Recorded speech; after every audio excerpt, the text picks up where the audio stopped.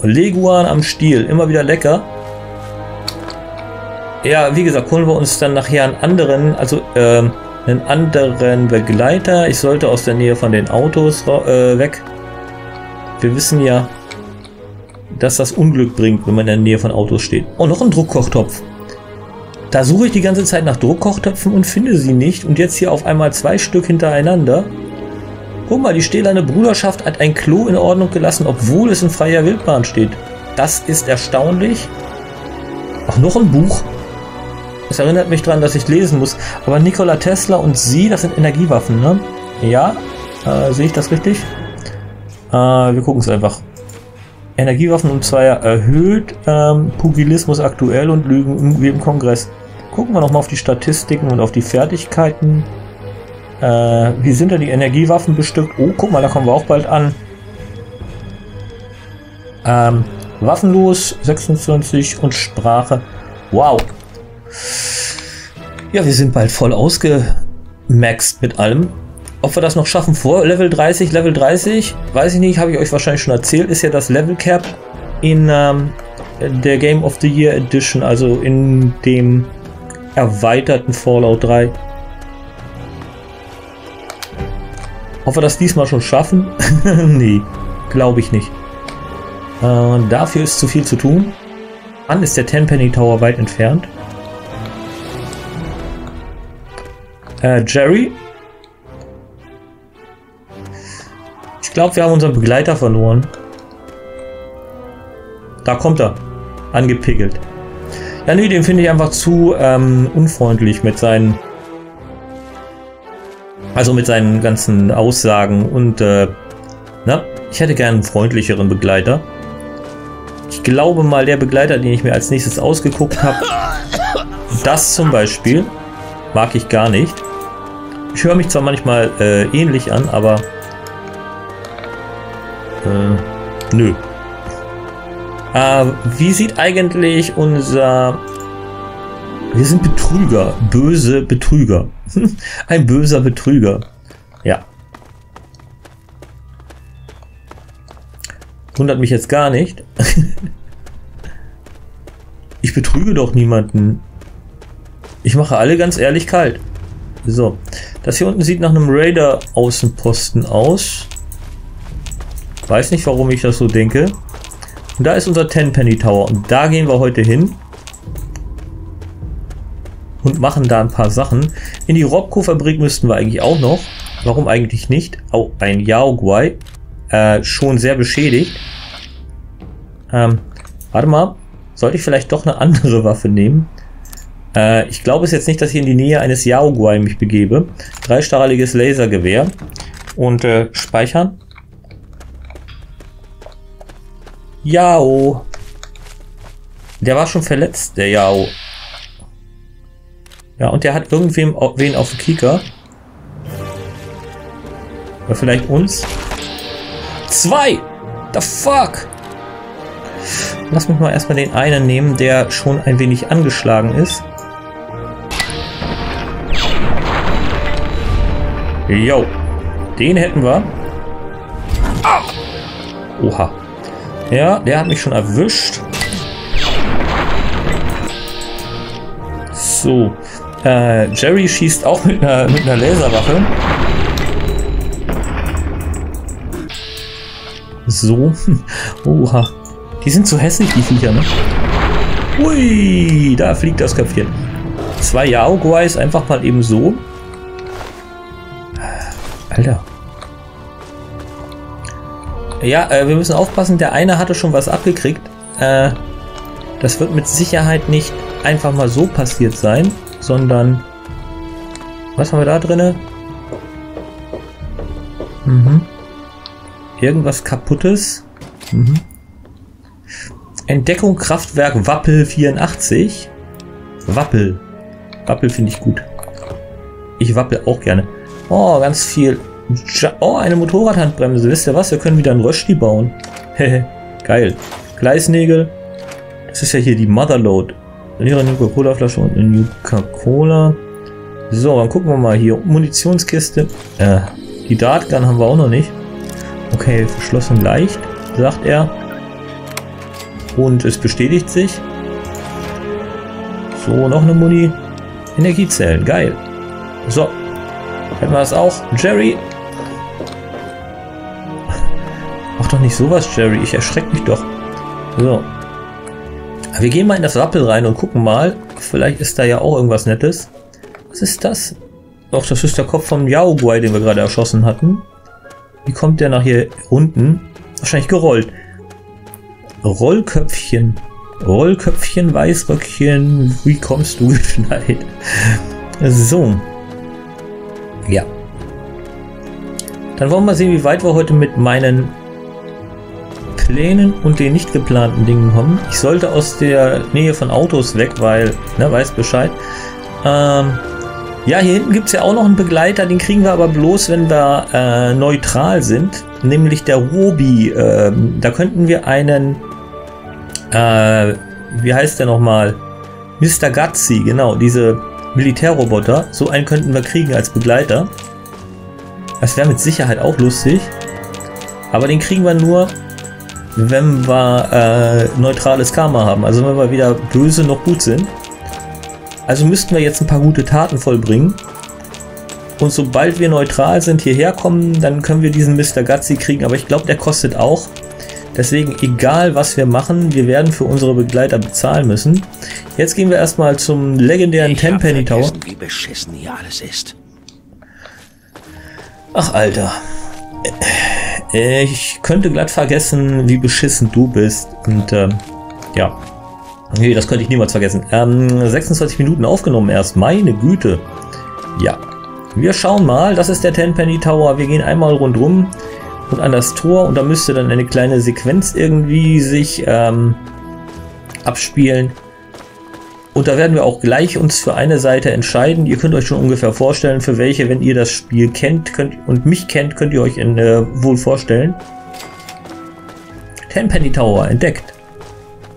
So, Ten Da ist jemand. Kann ich mal am Arsch lecken. Wir haben jede Menge Kronkorken. Ich will rein, verdammt nochmal. Wie oft sollen wir das denn noch durchkauen? Sowas lassen wir hier nicht rein. Basta! Ich kann hier gern den ganzen Tag lang stehen und durch diese verdammte Sprechanlage brüllen. Ich hab doch schon gesagt, dass Tenpenny hier keine Zombies wohnen lässt. Wer zum Teufel ist hier bitte ein Zombie?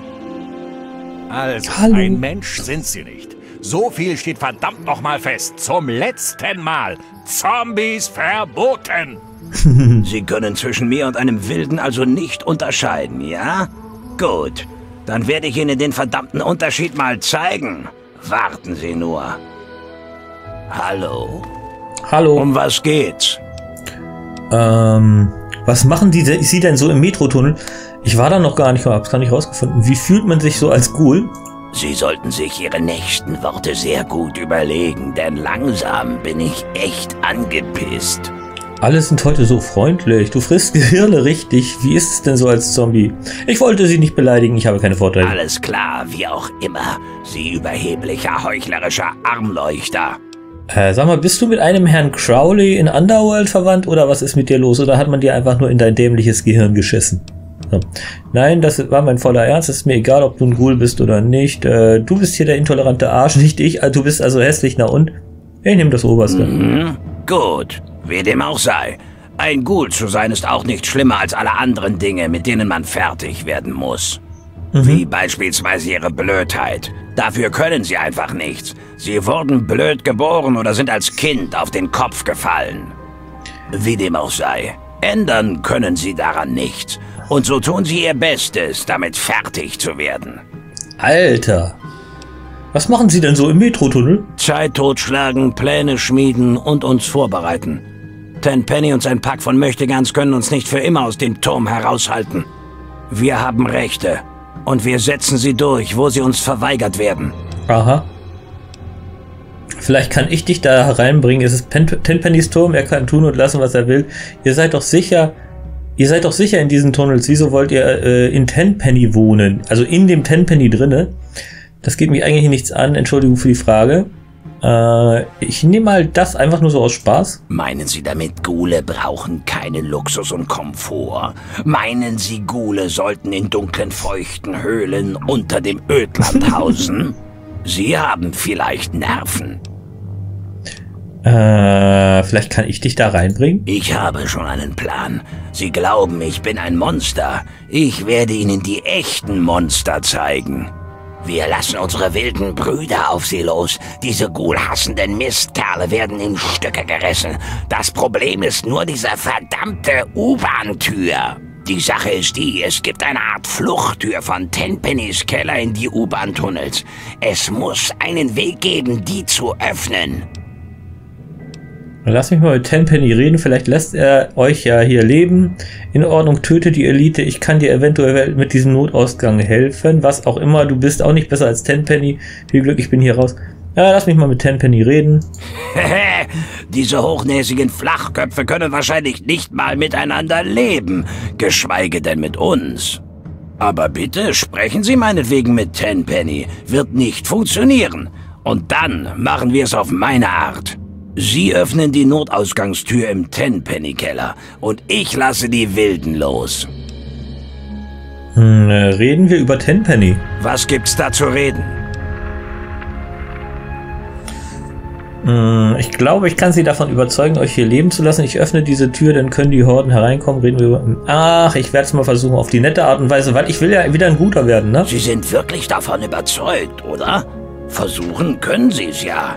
Ich gebe Ihnen eine Chance, aber danach machen wir es auf meine Art. Mhm. Äh, Bruder muss los. Beeilung! Äh, sei nicht so unfreundlich. So, jetzt werden wir uns mal mit den Jungs da drin unterhalten. Jerry, benimm dich. Ich hab Ihnen doch schon gesagt, Sie sollen abhauen. Tenpenny braucht Ihre verfluchten Kronkork nicht. Und ich will verdammt nochmal keinen Stress. Zum letzten Mal. Entferne deinen verwesenden, hässlichen, verdammten Gulasch von Mr. Tenpennys Privatgelände! Hm, werden hier alle Gäste so behandelt? Nehmen Sie dieses Maul auch, um Ihre Mutter zu küssen? Ich glaube nicht, dass Sie mit der Person sprechen, mit der Sie zu sprechen glauben. Ich nehme das hier. Was? Oh, tut mir leid. Ich dachte, Sie wären einer dieser verdammten Gule auf der Suche nach Almosen. Sie betreten gerade widerrechtlich Alistair Tenpennys Privatgelände. Haben Sie einen Grund, sich hier aufzuhalten? Ich bin hier, um mit Henry zu sprechen. Ich kann Ihnen helfen, dieses kleine Ghoul-Problem zu bewältigen. Ich möchte mich nur etwas umsehen. Ich werde schon niemandem etwas tun. Äh, äh, ich will mit Mr. Tenpenny sprechen. das ist klasse. Was sollte ein Mann wie Tenpenny wohl mit einer Müllratte wie Ihnen am Hut haben? Aha. Sprache 100. Ich habe ein lukratives Angebot für Tenpenny. Lassen Sie mich rein, sonst. Jetzt hören Sie mir mal gut zu. Ich schmeiße hier den Laden, nicht Sie. Jetzt hauen Sie verdammt nochmal ab. Tenpenny erwartet mich. Ich bin ein neuer Mieter. Netter Versuch. Ich kenne alle, die hier leben, auch die Neuen. Das ist mein Job. Und ich nehme meinen Job sehr ernst. Ich kümmere mich außerdem um jeden, den ich als Bedrohung für Mr. Tenpenny oder sein Besitztum betrachte. Stehen Sie da ruhig weiter rum. Mir egal. Bethesda, wir müssen reden. Also echt dieses Voice-Acting, wo dann sich immer die Stimme verändert. Das ist mir auch schon bei äh, Morrowind und bei äh, Skyrim und so weiter aufgefallen. Das ist echt schlimm. Ach kommen Sie, lassen Sie mich rein, wenn ich ganz zuckersüß bitte sage. Lass mich rein, Hornochse. Äh, ich versuch's mal mit der netten Tour. Äh, die Antwort ist nein. Es sei denn, Sie wollen mir mit einer Spende von sagen wir mal 100 Kronkorken den Tag versüßen. Von mir gibt's kein Schmiergeld? Dann kommen Sie auch nicht an diesem Tor vorbei. Hoch. Okay. Sie schon wieder? Ich dachte, ich hätte Ihnen bereits gesagt, Sie sollen abhauen. Hier 100 Kronkorken als Zeichen meines guten Willens. Vielleicht passen Sie besser hierher, als ich glaubte. Okay, ich nehme das Geld an. Aber treiben Sie es nicht so weit. Ich werde Sie im Auge behalten. Belästigen Sie Tenpenny und die anderen Bewohner nicht. Wenn Sie auch nur in die falsche Richtung niesen, drehe ich Ihnen den Hals um. Muss ich eine Maske tragen? Okay, lass uns mal schauen. Willkommen ich weiß... im Tenpenny Tower. Tun Sie nichts Unüberlegtes. Ähm, okay, pass mal auf. Die haben hier eins, zwei, drei, Weiß nicht mehr, wie viele, wie viele Wächter hier waren. Aber es ist auf jeden Fall eine gewisse Anzahl. Hier hinten ist auch einer. ist das da. Metro-Zugang Generator. Ich gehe mal rein und schau mal. Äh, achso, Jericho raucht. Äh, ja. Och, Dampfanzeigen oder was? Äh, aktivieren DCTA Notzugangsterminal. Verschlossen leicht. Ah, komm, wir speichern mal. Wenn er sagt verschlossen leicht, dann muss das nichts heißen, okay? Ich weiß auch, ob ich heute nicht gut genug Counter, Recover, Founded, Advisors, Chamber, uh, Recover. Ups. We recovered the password, uh, I suppose. Der neue erweiterte Spionageakt 50 USC 31 und 32 untersagt jede Benutzung durch Unbefugte. Eine Zuwiderhandlung wird mit einem Bußgeld in Höhe von 500 US-Dollar und eventuell einer Haftstrafe geahndet. In Notfällen aktivieren Sie die Sicherheitstüren, um sich Zugang zum Tunnelsystem zu verschaffen. Bleiben Sie den Gleisen fern und genießen Sie den schönen Tag. Notruf an DCTA Verbindungsaufnahme zu DCTA Sicherheit fehlgeschlagen. Sicherheitstür öffnen. Äh, Sicherheitstür schließen. Och. Äh. Ja, ich glaube, ich habe gerade wieder was Falsches gemacht.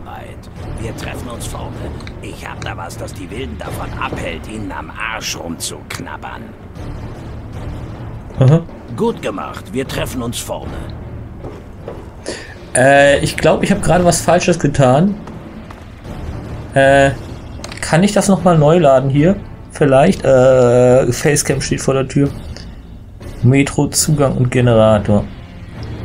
Äh, weißt du, nee. Äh, ja, wir haben jetzt nämlich beinahe die wilden Gule da reingelassen. Äh, und äh, da habe ich keinen Bock drauf. Die würden hier nämlich wirklich eine Massaker anrichten. Ja, das mögen die verdient haben, hier die Ten Pennies, aber wenn hier einer einen Massenmord begeht, dann bin ich das und nicht irgendwelche Gule. Wir versuchen das mal auf die nette Art und Weise. Wir gehen da jetzt rein und lass mal hier ablegen die Knarre. Auch hier hinten sitzen Hallo. Leute. Ich wäre schon lange weg, wenn es Mr. Tenpenny und seinen Turm nicht gäbe. Ich wäre schon lange weg, wenn es Mr. Tenpenny und seinen Turm nicht gäbe. Aha. Also ich glaube, ich wäre hier auch schon lange weg, wenn es Mr. Tenbendy und seinen Turm nicht gäbe. So, 37 Minuten aufgenommen. Mann, das kommt mir schon vor, als wenn wir eine Stunde dabei wären, Freunde. Äh, Facecam läuft, ähm, Spielsound läuft. Ah, Jericho, moin. Chief Gustavo, moin. Was? Äh, was können Sie mir über den Keller des Tenpenny Tower erzählen? Sie meinen den Generatorenraum? Warum zur Hölle wollen Sie denn darüber was wissen? Dieser Bereich ist für Sie tabu. Mhm. Reine Neugierde. Es gibt einen Noteingang in die Tunnels, wissen Sie, noch aus der Zeit der Bomben. Für unsere Generatoren zapfen wir das Stromnetz der Metro an. und stehlt den Gulen ihren Strom. Was? Wenn ich verspreche, nichts anzufassen, darf ich dann rein? Ich habe den einzigen Schlüssel und den gebe ich nicht her. Habe ihn schon einmal verloren und musste ihn nachmachen. Tenpenny brachte mich fast um. Äh, wie würden Sie es finden, ein paar Gule als Nachbarn zu haben? Nein, verdammt nochmal. Tenpenny lässt das niemals zu und ich erhalte meine Befehle von Bah. ihm. Diese komischen Plastikhaare jucken voll im Gesicht. Ähm, was ist, wenn Tenpenny hier Gule wohnen lässt? Ja, Gule gehören nicht hierher. Ich würde ihn für völlig verrückt halten, aber ich arbeite für ihn und was er entscheidet, gilt auch für mich. Glücklich wäre ich darüber aber nicht. Mhm. Äh, wie sieht's an der Ghoul-Front aus? Dieser verdammte Roy Phillips ist einfach nicht abzuwimmeln. Kommt immer wieder und bettelt um Almosen. Wir wollen solche wie ihn hier nicht. Basta! Wenn ich im Wettgeschäft wäre, würde ich einen Haufen Kronkorken draufsetzen, dass er bald gewalttätig wird. Natürlich. Aber das würde Tenpenny nervös machen. Ich mag es nicht, wenn Tenpenny nervös wird. Ich habe einfach nicht genug Leute, Roy Phillips und seinesgleichen zur Strecke zu bringen, sonst würde ich diese Misere ein für alle Mal beenden. Äh, was zum Teufel ist ein Ghoul überhaupt? Eine Art kranker Mensch? Meinen Sie das ernst? Sie wissen nicht, was ein Ghoul ist? Gule sind eine verdammte Katastrophe, die jederzeit über uns hereinbrechen könnte und es auch irgendwann tun wird. Irgendwann Klar. heißt das. Vielleicht kann man darüber hinwegsehen, dass ihr Gesicht wie geraspelt aussieht, aber es gibt noch andere Dinge, die uns Probleme bereiten. Die Strahlung zerstört langsam ihr Gehirn, woraufhin sie sich in Zombies verwandeln. Es ist daher besser für alle, sie zu töten, bevor es soweit ist. Es heißt Gehirn. Ähm, ich werde eine gewaltlose Lösung für das Ghoul-Problem finden. Ha! Mit Roy Phillips lässt sich nicht reden. Glauben Sie mir. Aber versuchen Sie ruhig, ihn zur Vernunft zu bringen. Es wird Ihr Untergang sein. Sie haben sich mit einem Haufen wilder Ghoul in den nahegelegenen Metrotunneln verkrochen. Der Haupteingang ist zu. Gehen Sie über den Güterbahnhof. Viel Glück. Sie werden's brauchen. Ja, vor allem, weil auf dem Güterbahnhof wahrscheinlich dieser, dieser Monster-Ghoul, also dieser, dieser ganz heftige Respawn ist. Ich glaube, ich kann Ihnen bei Ihrem Ghoul-Problem helfen. Wo verstecken Sie sich? Wirklich? Sie können was tun? Sie können's gerne probieren. Aber heulen Sie sich nicht bei mir aus, wenn Sie sich dabei verletzen. Sie haben sich mit einem Haufen wilder Gule in den nahegelegenen Metrotunneln verkrochen. Vorsicht! Roy ist auch kurz davor, zum Zombie zu werden. Schätze, Sie machen das nicht aus reiner Herzensgüte. Hab ich recht? Wie wär's mit 500 Kotkorken? Zahlbar nach erfolgter Beseitigung dieses verdammten Ghouls Roy Phillips und seiner Gefährten. Äh, Sprache 66. Wollen Sie eine Problemlösung oder nicht? Wenn, ja, wenn, dann muss da mehr drin sein. Ich hab hier das Sagen, nicht Sie. Jetzt gehen Sie Aha. mir aus den Augen. Äh, das nehme ich und jede weitere Hilfe, die ich kriegen kann. Hier, nehmen Sie dieses Gewehr samt Munition, aber schießen Sie nicht nur auf Schatten. Roy Phillips und die Gang sind in den Metrotunnels von Warrington. Sie haben den Haupteingang verbarrikadiert. Versuchen Sie es über den Güterbahnhof. Chinesisches Sturmgewehr. Haha, geil, kriege ich noch ein Gewehr. Roy Phillips und seine Anhänger töten. Aha. Aha, aha. Ich versuche immer noch Roy Phillips und seine Ghoul-Horde Wie ich auch meinen. Männern immer sage. Eine Rückmeldung wird erst gemacht, wenn der Job erledigt ist, klar? Ja, Mann, du bist ja ein ganz harter. Diggi. Ähm. Äh, hm, hm, hm. Wie ist so das Leben im Tenpenny Tower? Tenpenny zahlt immer pünktlich. Auch haben wir recht komfortable Wohnungen mit zusätzlichen Vergünstigungen. Mhm. Ich kenne sie, Roy Phillips und die anderen Ghule sind gar nicht so übel. Mir egal, was Sie denken. Sie kommen hier nicht rein. Punkt. Außer Also Tenpenny ist anderer Meinung. Und jetzt hauen Sie gefälligst ab. Nö, nö. Mach ich nicht.